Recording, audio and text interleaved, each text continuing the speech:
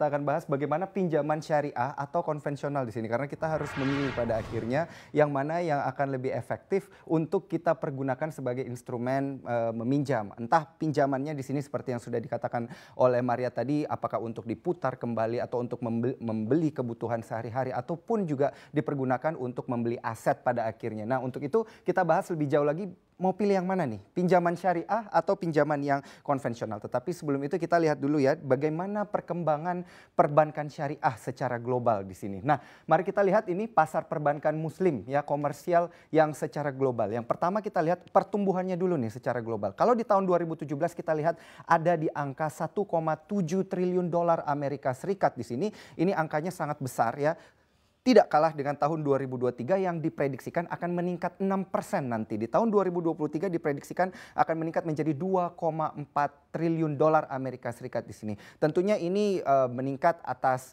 uh, dasar bagaimana cara penggunaan atau instrumen-instrumen finansial daripada perbankan syariah ke depannya dan juga meningkatnya penetrasi pasar pengguna perbankan syariah karena ternyata yang menggunakan sistem perbankan syariah tidak seharus uh, tidak selamanya harus muslim ya. Beberapa dari mereka menggunakan sistem perbankan syariah atas dasar eh, kebutuhan-kebutuhan ataupun atas dasar sistem dan juga atas dasar fasilitas-fasilitas yang diberikan oleh perbankan-perbankan syariah. Nah, secara global di sini kita juga perlu melihat karena ini kan sudah mulai zaman now, eranya teknologi di sini. Jadi karena eranya teknologi di sini ada pertumbuhan juga untuk fintech daripada fintech Islamic fintech di sini atau uh, dengan menggunakan uh, teknologi-teknologi di sini yaitu nilai investasinya sebesar 12,6 juta dolar Amerika Serikat.